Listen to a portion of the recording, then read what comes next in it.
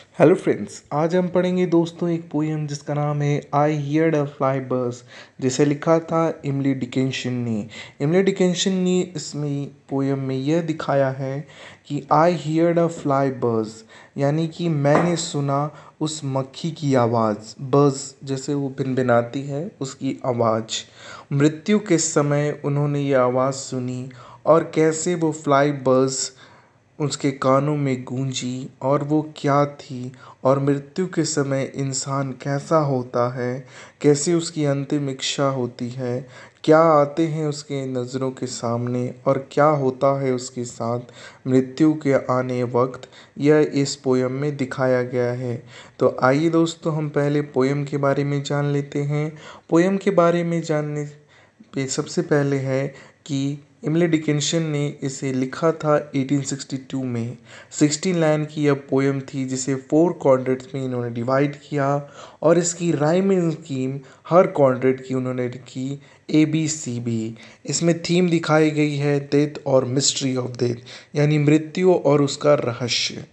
अब हम इमली डिकेंशन के बारे में जानते हैं। इमली डिकेंशन का जन्म हुआ था 10 दिसंबर 1830 में और इनकी मृत्यु हो गई 15 मई 1886 में।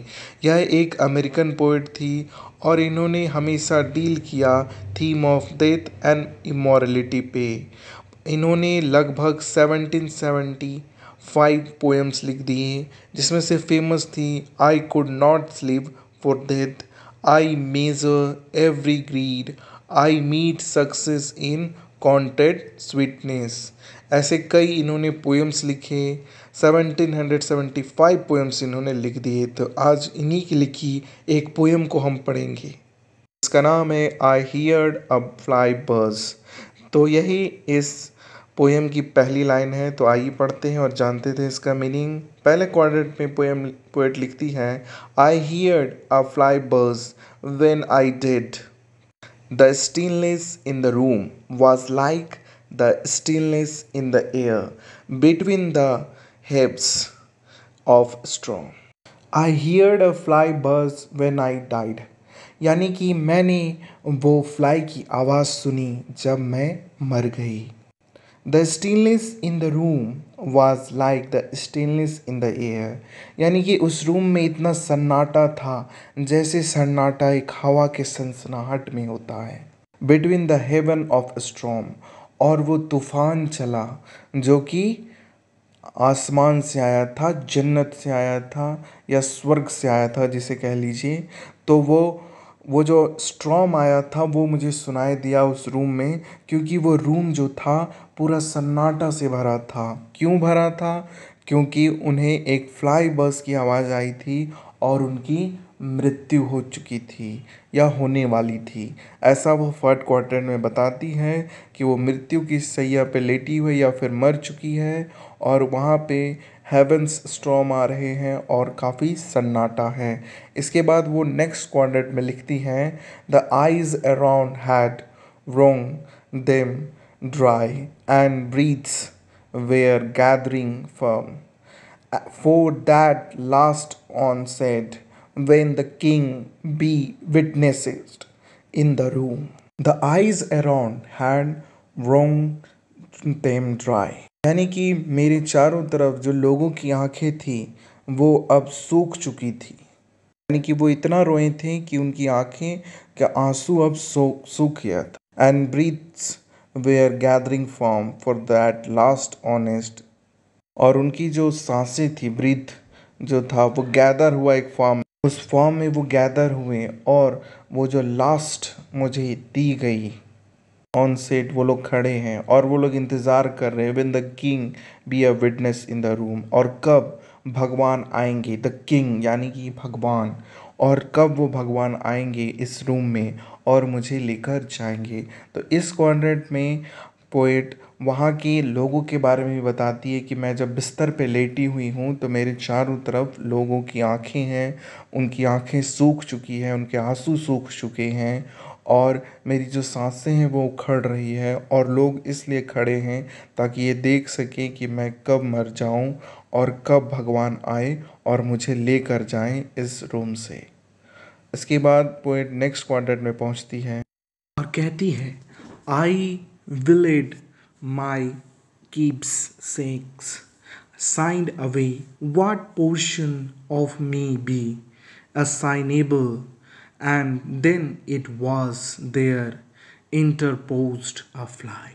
I willed my keepsakes यानी कि मैंने जो विल है अपनी जो प्रॉपर्टी अपनी जायदाद का जो बंटवारा है उसे मैंने साइन कर दिया signed away what portion of me be assignable यानी कि मेरी जो सारी चीज़ें थी, मैंने एक दूसरे में बांट दी।